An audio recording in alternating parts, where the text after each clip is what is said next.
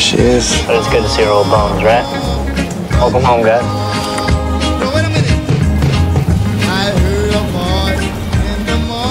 You know, I gotta be honest, not exactly looking forward to a check-in at home.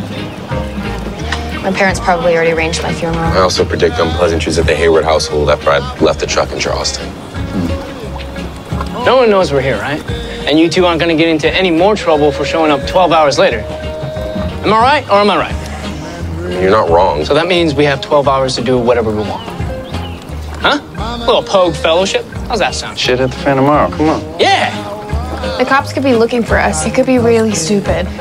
Sarah Cameron, you've heard of my philosophy, right? No. Stupid things have good outcomes all the time. Who's with me? Let's get some beer.